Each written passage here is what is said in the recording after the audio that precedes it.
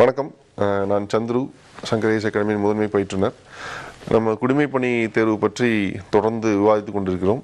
இன்றைய தலைப்பு வந்து விருப்ப பாடம் ஸோ முதன்மை தேர்வில் இருக்கக்கூடிய விருப்ப பாடத்தை பற்றி பேசலாம் அப்படின்ட்டு. ஸோ இந்த விருப்ப பாடம் அப்படிங்கிறது ரொம்ப ரொம்ப ரொம்ப முக்கியமானது. அது பேரே பேரே வந்து விருப்ப பாடம் தான் சொல்லியிருக்காங்க. ஸோ நீங்கள் விரும்பக்கூடிய பாடத்தை எடுத்து படிக்கக்கூடியது. மொத்தமாக பார்த்தீங்கன்னா இந்த முதன்மை தேர்வில் நாற்பத்தி நாலு விருப்ப பாடங்கள் கொடுக்கப்பட்டுள்ளது. இதை வந்து மூன்று வகையாக பிரிக்கலாம். ஒன்று வந்து காமன் மேன் ஆப்ஷன் சொல்லுவோம். அதாவது எந்த கல்வி பின்புலத்திலிருந்து வந்தாலும் அந்த மாணவர்களால் எடுத்து படிக்கக்கூடிய விருப்ப பாடங்கள் இப்போ உதாரணத்துக்கு பொது நிர்வாகம் புவியியல் சமூகவியல் அரசியல் அறிவியல் தத்துவவியல். இந்த மாதிரி இருக்கக்கூடிய உளவியல் சைக்காலஜி இந்த மாதிரியான பாடத்திட்டங்கள் எல்லாமே வந்து இந்த விருப்ப பாடங்கள் எல்லாமே எல்லாராலும் படிக்க முடியும். இப்போ ஒரு இன்ஜினியரிங் கிராஜுவேட் வந்து ஜாகிரஃபி படிக்கிறதுலையோ எக்கனாமி படிக்கிறதுலையோ சாரி ஹிஸ்ட்ரி படிக்கிறதுலையோ இல்லை பொலிட்டிக்கல் சயின்ஸோ பப்ளிக் அட்மினிஸ்ட்ரேஷனோ படிக்கல எந்த பிரச்சனையுமே இருக்காது. அவங்களால ஈஸியாக படித்து புரிஞ்சுக்க முடியும். நல்லபடியாக எக்ஸாம் எழுதி பாஸ் பண்ண முடியும். ஸோ இது மாதிரி காமன் மேன் ஆப்ஷன் சொல்கிறது ஒரு ஏழு எட்டு ஆப்ஷன்ஸ் இருக்குது ஸோ அந்த ஆப்ஷன்ஸு உதாரணம் என்னென்ன சொல்லலாம்னா history public administration political science sociology psychology so philosophy இந்த மாதிரியான சப்ஜெக்ட்ஸ் எல்லாமே காமன் மேன் ஆப்ஷன் சொல்லலாம். இது வந்து எல்லாத்தினாலையும் படிக்க முடியும் அப்படிங்கிறது. ரெண்டாவது வந்து டெக்னிக்கல் ஆப்ஷன்ஸ்னு சொல்லலாம். அதாவது அந்த குறிப்பிட்ட கல்வி பின்புலத்திலிருந்து வந்தவர்களால் மட்டும் படிக்கக்கூடிய பாடத்திட்டங்கள். இப்போ உதாரணத்துக்கு வந்து மெடிக்கல் சயின்ஸ் டாக்டர்ஸ் மட்டும் தான் மெடிக்கல் சயின்ஸ் படிக்க முடியும். ஒரு இன்ஜினியரிங் கிராஜுவேட் போய் மெடிக்கல் சயின்ஸ் படிக்க கண்டிப்பாக படித்து பாஸ் பண்ண முடியாது. Medical science animal husbandry veterinary science அதுக்கப்புறம் வந்து ஃபிசிக்ஸ் பாட்னி ஜுவாலஜி கெமிஸ்ட்ரி அதுக்கப்புறம் இன்ஜினியரிங் சப்ஜெக்ட்ஸ் ஸோ இது எல்லாமே பார்த்தீங்கன்னா டெக்னிக்கல் சப்ஜெக்ட்ஸாக இருக்கும். அது வந்து அந்தந்த கிராஜுவேட்ஸ் மட்டும்தான் படிக்க முடியும் அப்படிங்கிற மாதிரி இருக்கும்.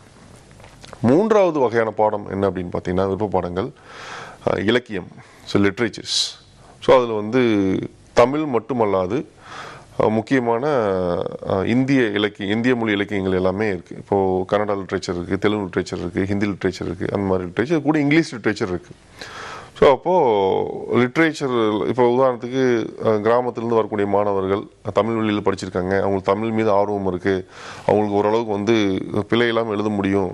கொஞ்சம் கற்பனை திறன்லாம் நல்லா இருக்குது அப்படின்னா தாராளமாக அவங்க தமிழ் இலக்கியம் எடுத்து படிக்கலாம். ஸோ நீங்கள் ஒன்று காமன் மேன் ஆப்ஷன்ஸ் இருந்து எடுத்து படிக்கலாம். இல்லை உங்களுக்கு சரியான வழிகாட்டுதல் ஆள் இருக்காங்க அப்படின்னா நீங்கள் டெக்னிக்கல் ஆப்ஷன்ஸ் கூட எடுத்து படிக்கலாம். இல்லாட்டி லிட்ரேச்சர் எடுத்து படிக்கலாம். பட் விருப்ப பாடம் விருப்ப பாடத்தை வந்து அந்த செலக்ட் பண்ணுறது எப்படி இருக்கணும் அப்படின்னு பார்த்தீங்கன்னா தேர்ந்தெடுத்தல் முழுக்க முழுக்க முழுக்க உங்களுடைய சுய முடிவாக இருக்கணும். செல்ஃப் டெசிஷனாக இருக்கணும். இப்போ நான் சொல்கிறேன் அப்படிங்கிறதுக்காகவோ இல்லை ஏற்கனவே ஒருத்தர் வந்து படித்து பாஸ் பண்ணியிருக்காரு. இப்போ ஒருத்தர் வந்து ஜாகிரஃபி ஆப்ஷனல் போட்டு பாஸ் பண்ணியிருக்காருன்னா அதுக்காக நீங்கள் ஜாகிரஃபி எடுக்கணும் அவசியமே கிடையாது. அது அவருக்கு ஈஸியாக இருந்திருக்கு அவர் எடுத்திருக்காரு. உங்களுக்கு எது ஈஸியோ அதை நீங்கள் எடுக்கிற மாதிரி இருக்கும். அதாவது ஒரு விருப்ப பாடத்தை தேர்வு செய்யறதுக்கு முன்பாக அதனுடைய பாடத்திட்டம் அது கூடைய முந்தைய ஆண்டுகள் கேட்கப்பட்டுள்ள வினா தொகுப்பு கொஷின் பேங்க் இதை ரெண்டையும் ஃபஸ்ட்டு எடுத்து வச்சுங்க. வச்சுக்கிட்டு டீட்டெயிலாக கோத்ரூ பண்ணுங்கள் உங்களுக்கு ஆன்சர் தெரியணும் அவசியம் இல்லை. உள்ள என்ன இருக்கும் பார்க்கணும் அவசியம் இல்லை. அதாவது என்ன மாதிரியான இது இந்த பாடம் இருக்கு? அதாவது இந்த பாடத்திட்டத்துக்குள்ள வந்து இந்த சிலபஸ்க்குள்ளே என்னென்னலாம் படிக்க போறோம் அப்படிங்கிறத உங்களுக்கு ஒரு ஒரு புரிதல் வேணும். அந்த புரிதல் வந்ததுக்கு அப்புறம் உங்களை அறியாமையே ஏதேனும் ஒரு விருப்ப பாடத்தின் மீது உங்களுக்கு ஒரு ஈர்ப்பு இருக்கும். அந்த ஈர்ப்பு வந்து எந்த விருப்ப பாடத்தில் இருக்கோ தாராளமாக நீங்கள் அந்த இதை எடுத்துக்கலாம். அதாவது ஈர்ப்புனா எப்படி இருக்கு அப்படின்னு நான் சொல்கிறேன்னா ஒரு சிலபஸையும் கொஷின் பேப்பரையும் பார்க்குறப்போ இயல்பாகவே வந்து நமக்கு என்ன தோணும் அப்படின்னா ஓகே இது என்னால் படிக்க முடியும். இது எனக்கு வந்து புரிஞ்சுக்க முடியும். எனக்கு ரொம்ப இன்ட்ரெஸ்டிங்காக இருக்கும். இது சார்ந்து வந்து என்னால் யோசிக்க முடியும். எனக்கு வந்து என்னால் ஆன்சர் கொடுக்க முடியும் அப்படின்னு சொல்லிட்டு உங்களே அறியாமல் ஒரு சில பேருக்கு வந்து சின்ன வயசுலேருந்தே வந்து இன்ட்ரெஸ்டடாக இருப்பாங்க. இப்போ ஒரு சில பேர் ஹிஸ்ட்ரியில் ரொம்ப இன்ட்ரெஸ்டடாக இருப்பாங்க. இல்லை ஜாகிரஃபியில் இன்ட்ரெஸ்டடாக இருப்பாங்க. இல்லை ஒரு சில பேர் வந்து நான் ஒரு அட்மினிஸ்ட்ரேட்டராக ஆக போகிறேன் அதனால் நான் பப்ளிக் அட்மினிஸ்ட்ரேஷன் நிறைய பார்க்க போகிறேன் படிக்க போகிறேன் அப்படின்னு சொல்லிட்டு அந்த மாதிரி ஏதோ ஒரு காரணத்தினால ஒரு ஈர்ப்பு இருக்கும். ஸோ அந்த ஈர்ப்பு உங்களுக்கு எந்த விருப்ப பாடத்தில் இருக்கோ அந்த விருப்ப பாடத்தை எடுத்து நீங்கள் படிக்கலாம்.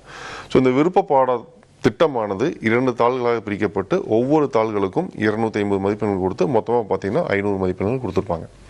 ஸோ இதுதான் வந்து அடிப்படையில் விருப்ப பாடத்தை பற்றி அடுத்ததாக நாம் வந்து கட்டுரைத்தாள் அதுக்கப்புறம் வந்து நேர்முக தேர்வு எப்படி இருக்கும் அப்படிங்கிறத நம்ம டீட்டெயிலாக பார்க்கலாம். நன்றி வணக்கம்.